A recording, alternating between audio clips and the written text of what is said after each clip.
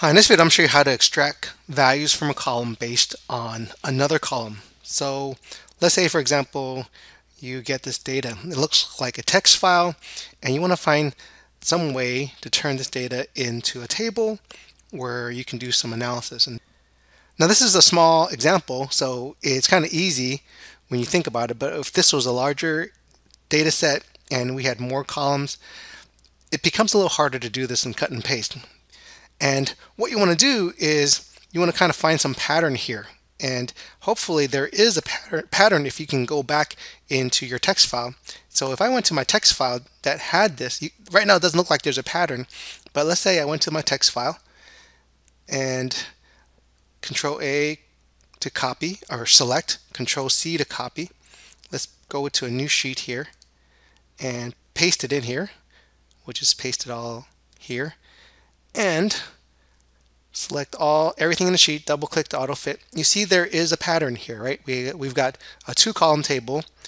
We've got our we've got these headers here categories here and they're they are separated above by these asterisks. So there is a pattern here that we can use. And if there's a pattern there that we can use we can put it into Power Query to kind of get that data to come out like this in a proper table. So let's see how we can do that. Select my range of data here. Go into data from table and range.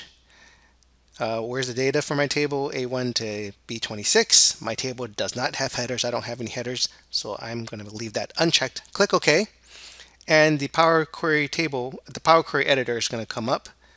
And what we need to do is we need to incorporate some index columns. So I will go add a column here, add two index columns from 0 to 1, and then from, or starting from 0, and then one that is starting from 1.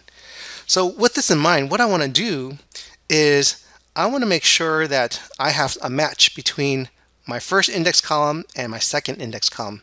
I want to see that 5 match with this 5.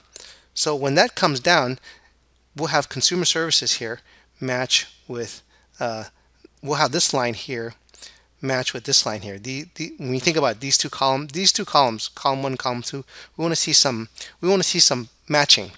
We want to see these uh, separate values here kind of in the same line. So what we're going to do, we're going to match 5 and 5 here. So I'm going to incorporate this table into itself. And that's going to be done with a merge. So I'm going to merge queries and I want to merge index 1, the first instance of the index, to the second instance of the index. So I only have one table here, so I'm going to merge that index to the second index. So they're going to match. Click OK.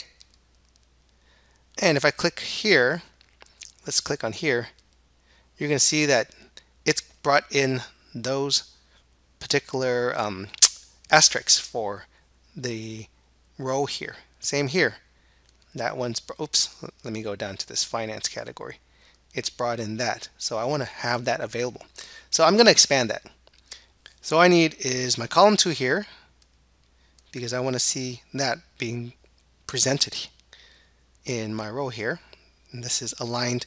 This is looking at the previous row, right? So consumer services, I want to see that look at the previous row. We've got that dash there. That dash is there finance, I want to see the value brought back from the previous row, which is that. It brings it back and puts it on the same row there. When that was done, you can see that my index kind of got messed up because the first index should have started from zero. Now you see that it's starting from zero down here, so I need to readjust that, make this ascending, and I've got my zero back here, which is that first record there.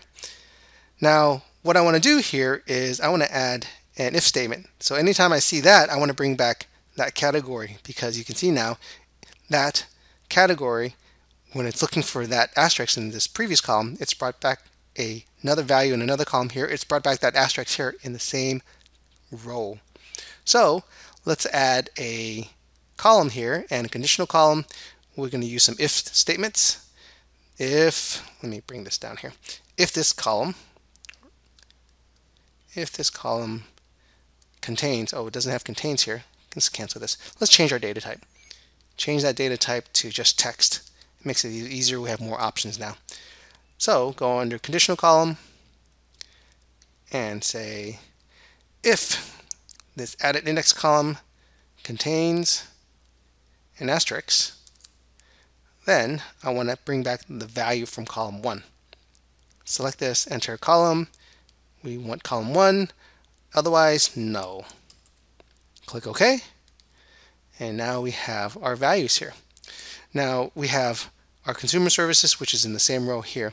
And anything else here, if it's not that header or that category name, we want it to be null. It brought back errors because it's doing calculations or looking at the conditional logic on null, which will bring back an error. Let's get rid of those errors, right click, replace errors with null. Anytime it sees an error, type null. Click OK, and now we have our consumer service. I'm going to move this over here to the first column here, make it the first column so now you can see a little more clearly what I want to do, right? Because anything that is above this, anything these nulls should be consumer services because all these records here or these rows are consumer services. Anything above finance, all these should be uh, finance. So I'm going to fill up. And you can do that by right clicking, go to fill, fill up, and you can see that it is applied it now. So now it's just cleanup. I want to get rid of row, rows that uh, are empty here or rows that have the category here in this column and category here in this column. And I'll just look for some markers in the other columns to help me do that. You can see that this duplication here, we have a marker here that will tell us, oh, we can remove that column. So go here, uncheck that, click OK. That's remove that one. Now I don't need these columns or these rows that have the category here and something empty here. And if I've got a category here and empty here, what other columns can I use to help fill that marker? Well, it's this. We've got these asterisks here. So click on that and remove that here. Click OK. And let's see if we've got any more that we need to remove. So I don't need this finance and a null, this healthcare and a null. So then in this instance, I can just remove the nulls here. So click on that, uncheck null, click OK, and now I have my records here. I can call this category, call this name, and I'll just call this one amount. I don't need these other rows anymore. Click that, shift, press shift key, click on the last row, right click, remove columns, and I've got my data here. Let's bring it into my worksheet, close and load, and then close and load and put it into this worksheet as a table. Let's bring it here into cell E1.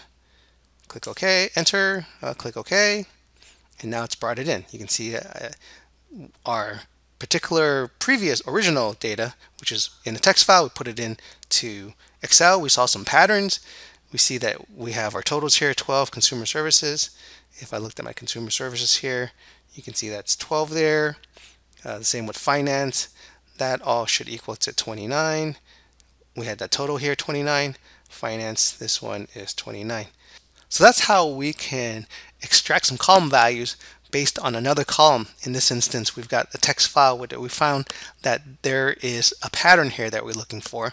And it's a good that there's a pattern that repeats that we can bring into Power Query and kind of make a proper table out of it. So I hope that helps. Thanks for watching.